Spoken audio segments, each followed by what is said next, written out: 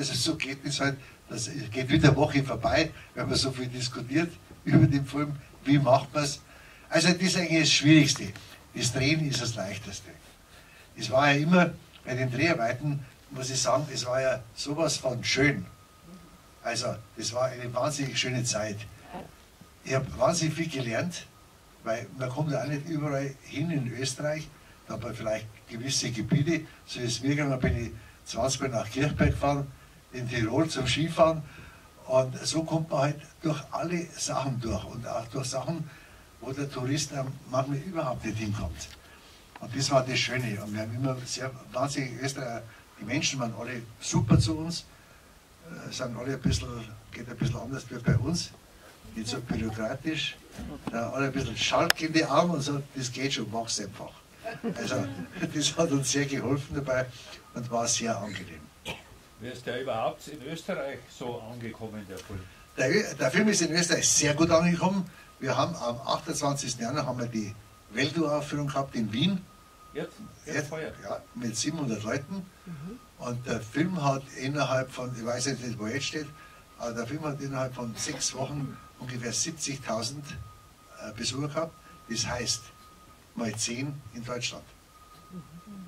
Also immer Österreich und Deutschland ist immer 1 zu 10. Von 8 Millionen Einwohner zu 80 Millionen. Also immer, wenn ich 100.000 äh, Besucher in Österreich habe, dann habe ich in Deutschland eine Million gemacht.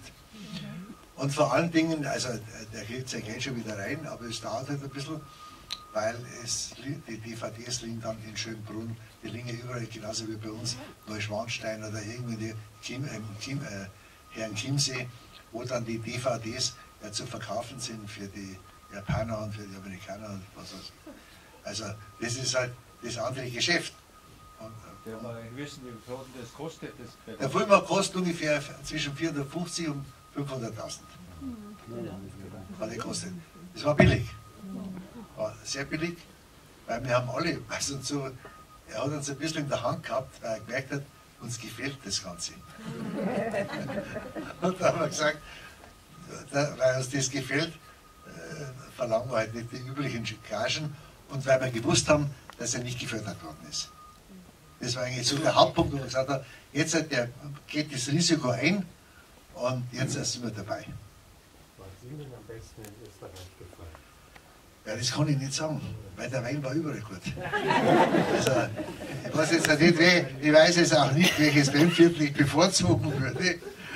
Und äh, ja, da kann man, also, ich kann es wirklich nicht sagen, weil jedes Bundesland hat was eigenes, sagt bei Niederösterreich oder Oberösterreich, so, wo man, man kennt Tirol, man kennt das Salzburger Land, äh, man kennt Wien, man kennt schon weniger äh, den Neusiedler See, man kennt weniger Vorarlberg, also, aber ich könnte jetzt kein Land, weil diese Länge oder Breite vom Neusiedler See bis nach Vorarlberg, bis Bregenz, die haben ungeheure Sachen. Ich habe natürlich in Österreich, musste ich mal sagen, war da oft, ich war in Linz, ich war in Salzburg auch auf Kinotour und dann musste ich mal sagen, weil da haben sie mich gefragt, die wussten ja, das war mein größtes Übel, dass ein Bayer den Österreich-Film macht.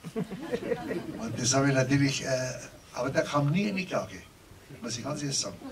Aber das war immer, was? Sie haben sich überall reingekriegt, haben sie euch nicht Nein. Die Österreicher. Nein, äh, null. Weil der Spieß hat das Zeit und wir haben uns auch nicht reden lassen. Also kam kein Wirtschaftsministerium oder, oder Tourismusverbände, die gesagt haben, wir konnten machen, was wir wollen. Also abgesprochen mit den Produzenten, mit den Leuten, die heute zuständig waren. Und dann habe ich ja immer in Österreich, muss ich dann, äh, habe ich natürlich gesagt, als mich gefragt haben, ja was, Sie sind doch Bayer, was ist denn China, Bayern oder Österreich? Also verzeiht es mir, ich habe leider, ich war so falsch und habe gesagt Österreich. aber mit zwinkerndem Auge. Also ich habe schon gemerkt, äh, so und so, aber man kann das nicht vergleichen. Weil es, also es beides wahnsinnig schön. Die haben eigentlich noch mehr als wir haben. Wie heißt das, glaube ich, der Alexa. Die Alexa, genau, danke. Wer war das? Ah, der Paul, der kennt sich aus. Die Alexa und die Amira. Und die sind natürlich hochwertige Kameras, die kosten, wenn man ganze Dinge an mit Optiken, kostet 500.000 Euro. Und die versucht man jetzt äh, in die Cineflex, in den Hubschrauber einzubauen. Da ist gerade dabei, der Neuseeländer, der die großen Filme gemacht hat, Paul. Ich habe die heute schon mal gefragt, die weiß schon immer. Die großen Filme äh, in, aus Neuseeland. Äh, die Hobbits und, und, und, und noch den anderen, Herr der Ringe, jetzt. Und der, der hat sich jetzt darum gekümmert, um, den, um die Einbauten äh, dieser, äh, dieser Kamera und so. Was nützt aber das, wenn man das dann nicht kopieren kann?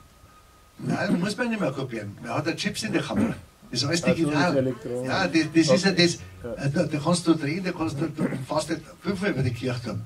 Vorher bist du einmal rübergeflogen, weil der Meter Material äh, 2,16 Euro kostet hat. Ja, Das gut. Vollmaterial. Mhm. Und jetzt kostet es nichts. Wenn du fünf fließt, dann kostet nur die, die Flugstunde, die sind dann teurer als das Vollmaterial. Ist das jetzt besser oder schlechter? Wenn, äh, äh, Nein, äh, die, äh, sagen wir mal so, die Sehgewohnheiten, Kino, also man hat ja immer, im Kino hat man immer ein bisschen so das äh, kleines Grieseln und äh, äh, die war ein bisschen lebendiger. Wenn ich heute im Fernsehen reinschaue, 4K schon oder wie auch immer, wo alles so gestochen scharf ist, dass du jede Ding da siehst und so, äh, finde ich gar nicht so gut, aber die Leute gewöhnen sich halt dran. Also Kino hat mehr, mit Film, finde ich, mehr gelebt. Gut, der Zuschauer wird es jetzt nicht so mitkriegen, aber ich finde schon, dass es mehr gelebt hat.